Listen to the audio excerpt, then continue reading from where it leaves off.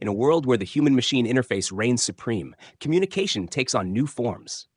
Tractors, once simple tools of agriculture, now play a vital role in the repositioning of our society.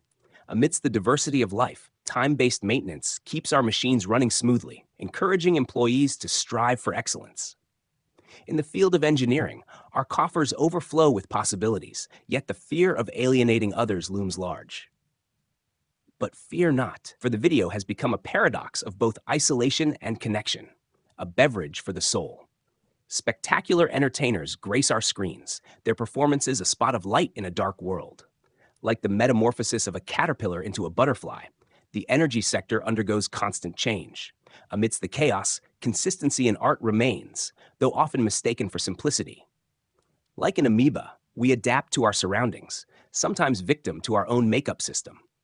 Yet through the tremors of uncertainty, we stand, able and ready to face whatever challenges come our way. Initially developed for one purpose, now certified for many, our natural analogs and viral vectors represent a surrender to the future.